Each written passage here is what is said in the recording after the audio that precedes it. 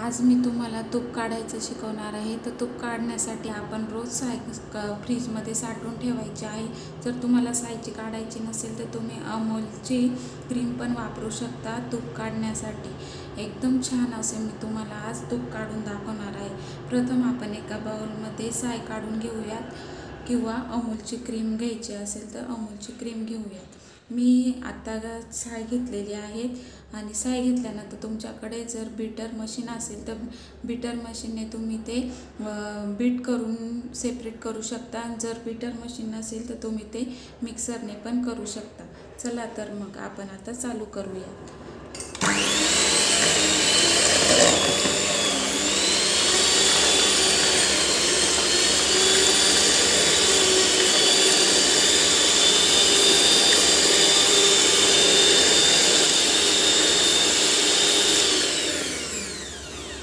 पाच ते सात मिनटं आपण बीटर मशीनने ते बीट करून घ्यायचं.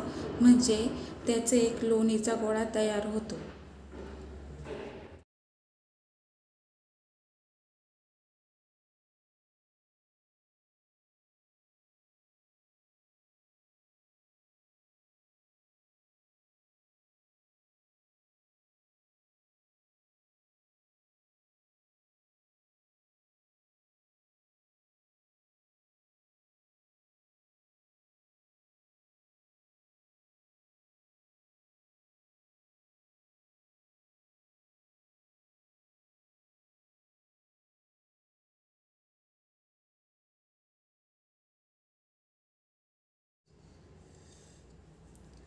सात ते आठ मिनटानंतर जास्तीत जास्त आठ ते नऊ मिनटं बीट केल्यानंतर आपल्याला असं लोणी आणि त्यामधलं पाणी सेपरेट दिसायला लागतं. हे बघा. तुम्ही फ्री तुम्ही मिक्सरमध्ये ब्लेंड मशीन हँड हँड ब्लेंडरने सुद्धा हे करू शकता असं. असे व्यवस्थित ह्या पद्धतीने लोणी सेपरेट दिसली ह्या पद इतक्या वेळ आपल्याला हे ब्लेंड करायचं आहे. ब्लेंड केल्यानंतर हा जो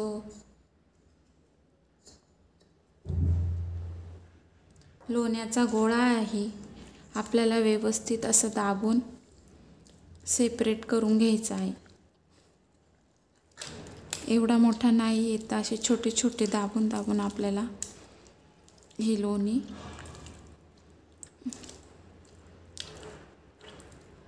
असं कढईत काढून घ्यायचं आहे.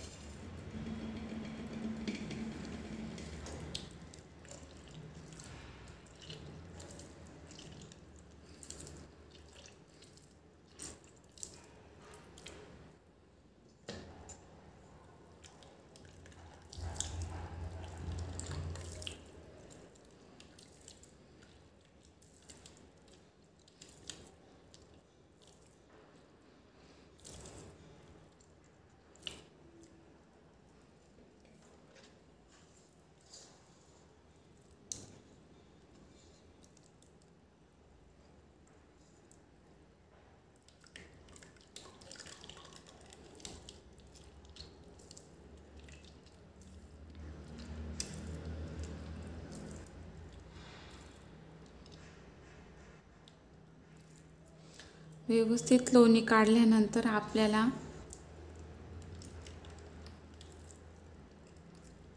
हे लोण्याचे गोळे परत फ्रीजच्या थंड पाण्याने व्यवस्थित धुवून घ्यायचे.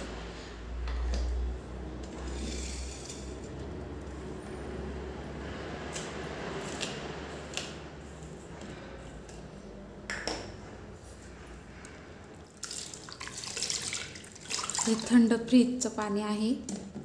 याच्यात आपल्याला व्यवस्थित हे गोळे धुवून घ्यायचे.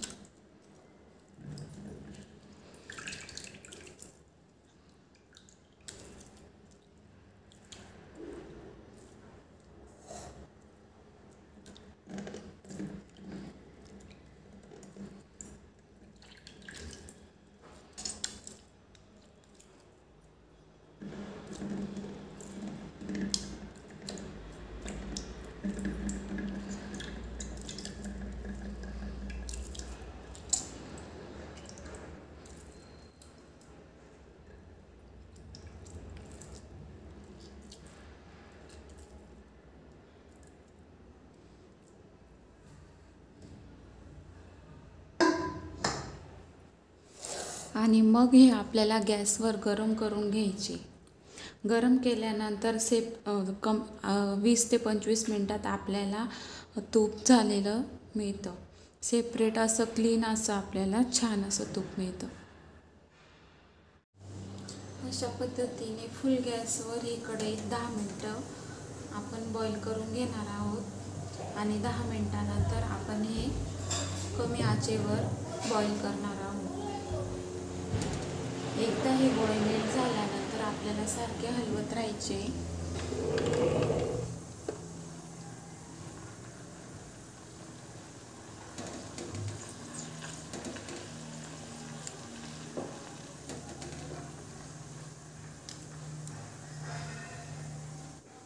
लोण्याचे गोळे मेल्ट झाल्यानंतर आपण हे सारखं स्टीर करणार आहोत. फुल गॅसवर दहा मिनटं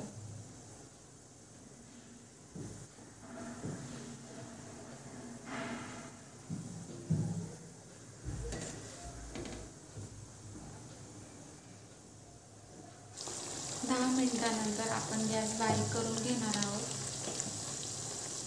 आणि यात चिमूटभर मीठ टाकणार आहोत.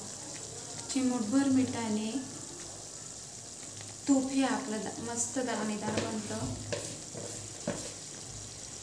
घट्ट बनून राहत नाही. छान असं दुकानासारखं दाणेदार असं तूप तयार होतं. काही वे काही लोक नाही टाकत काही बायका नाही टाकत मीठ. पण दाणेदार तूप होण्यासाठी आपण यात मीठ टाकून घ्यायचं.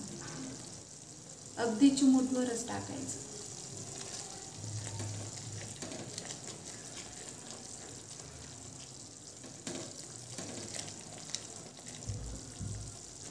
पंधरा ते वीस मिनिटानंतर आपली तो सेपरेट व्हायला सुरुवात झाली आहे.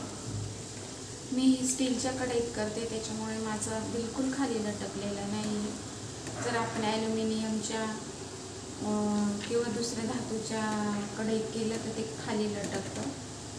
पण स्टीलची जरी वापरत असाल तर त्याचं बोर्ड असं जाड असं बोर्ड पाहिजे कढईचं. तरच नाही तर स्टीलच्या कढईत पण लटकतं ते खाली. आणि अशी चॉकलेटा पूर्ण थर येतो. ते जरी आलं तरी घाबरायची गरज नाही. आपलं तूप व्यवस्थित असं तयार होतं.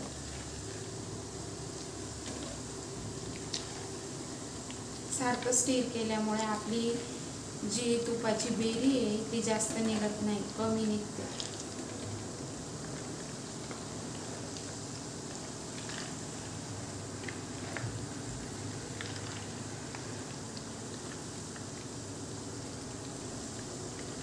अशा पद्धतीने आपले हे तूप तयार आहे. हे थंड झाल्यानंतर आप हे थंड झाल्यानंतर आपण एका जारमध्ये ओतून घ्यायचं गरम गरम ओतायचं नाही.